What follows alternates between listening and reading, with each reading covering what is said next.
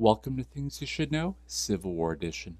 Today we're going to talk about the Battle of Williamsport, also known as the Battle of Hagerstown, located in Washington County, Maryland, between Union General George Meade and his Army of the Potomac and Confederate General Robert E. Lee and his Army of Northern Virginia. This occurred on July 6th to the 16th 1863. After the disaster of Gettysburg, on early morning July 5th, the Confederate Army of Northern Virginia retreated towards Williamsport, located on the Potomac River. The retreat of Confederate forces caused disrupted command and misdirection communications to the Confederate units. The biggest blunder was the separation of the Confederate Army supply train and ambulance from the infantry forces.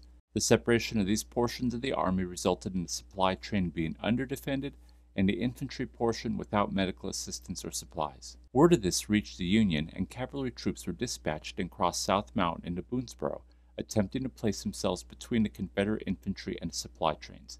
This was a once in a war opportunity to strip the Confederate forces of supplies and medical treatment. Union General Kilpatrick's troops engaged with Confederate Colonel Chambliss's cavalry brigade at Hagerstown on July 5th, forcing the Confederate troops to call for help from Confederate Brigadier General Alfred M. Iverson's infantry and Confederate General Jones's cavalry for reinforcements. Kilpatrick sent two Union brigades of cavalry to reinforce Buford and another brigade to station itself south of Williamsport in order to block additional Confederate reinforcements. Confederate intelligence received word on July 7th of the Union dispatch and attack at Hagerstown. They notified Confederate Brigadier General John D. Imboden and his brigade of troops to start the defense by intercepting Union General Buford's cavalry's attempt to attack the wagon trains at Williamsport. This didn't slow Union General Buford's attack until Confederate General Fitzhugh Lee's brigade arrived and attacked as well.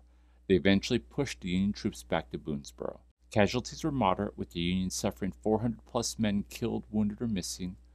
Meanwhile, the Confederate defenders fared a little bit better by losing only approximately 250 men that were killed, wounded, missing, or captured. Join us again next time on Things You Should Know, Civil War Edition.